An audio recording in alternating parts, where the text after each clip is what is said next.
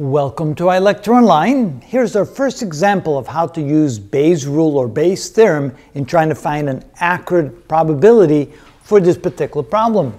So let's say we have two boxes. In box one we have two red marbles and one blue marble. In box two we have one red marble and three blue marbles. One red ball is picked or one red marble is picked. So we pick at random a, a marble. I guess I should have called it a marble so what is the probability that the marble came from box 1?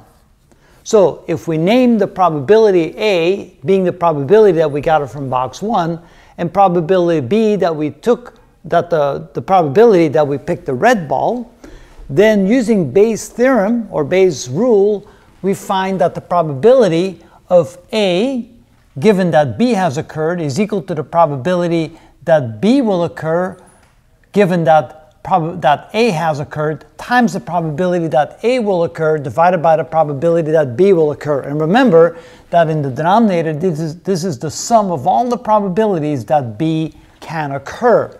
So if we now translate it, instead of using A and B, we use box 1 in red, it will make a little bit more sense. Let's say we want to find the probability that we pick box 1 that the marble came from box 1 given that we picked a red marble is equal to the probability that we'll pick a red marble given that it came from box 1 times the probability that we picked box 1 divided by the probability of picking a red marble. And again, this is all the possibilities or all the probabilities summed together that we're able to pick a red marble. So translating that, the numerator stays the same. It's the probability that we'll pick a red marble given that we picked box 1 times the probability that we picked box 1 divided by, now this is the sum of all the ways in which we can get a red marble.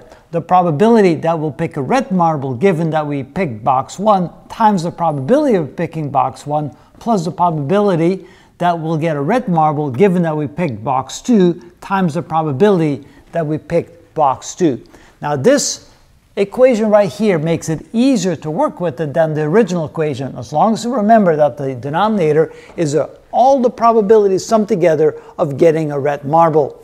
So let's plug in some numbers and see what we get. First, we find the probability of finding a red marble given that we picked box 1. So if we pick box 1, there's two red marbles and one blue marble. That gives us two-thirds probability that we'll have picked a red marble. So that gives us two-thirds and we have to multiply the times the probability of picking box 1. We have two boxes. We can pick box 1 and box 2 at random, which gives us a 50-50 chance of picking box 1 over box 2. So we multiply this times 1 half. That gives us the numerator. Now we divide that by the probability of picking a red marble given that we picked box 1. Well, that's exactly the same as the numerator, which is 2 thirds times the probability of picking box 1, which again is 1 half. So notice that this part is exactly the same as the numerator. But now we add to that the probability of picking a red marble given that we picked box 2. In box 2 we have one red marble and three blue marbles. That's 1 out of 4 marbles that is red. So the probability is 1 out of 4 that we pick a red marble given that we picked box 2 times the probability of picking box 2, but since the two boxes have equal probability, that will also be 1 half. And this is Bayes' theorem in action, or Bayes' rule in action. That will give us the probability that we picked a marble from box 1, given that we picked a red marble. Notice, without using this technique, it would be almost impossible to pick the right value.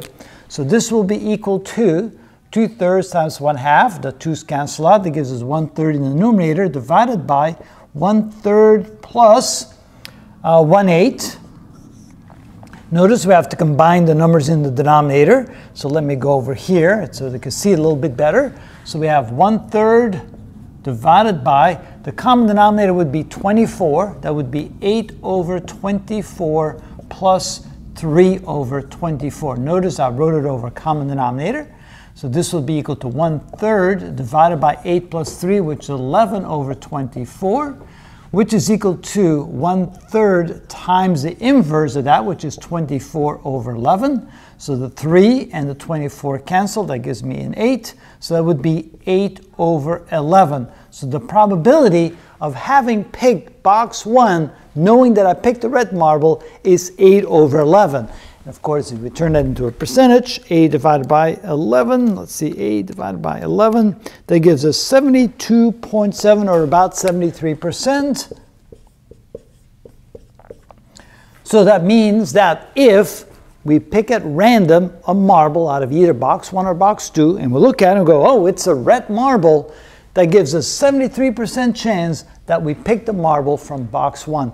That is how we use Bayes' theorem or Bayes' rule, and it makes it a whole lot easier to figure out the probability of something that becomes as complex as this particular example. And that is how it's done.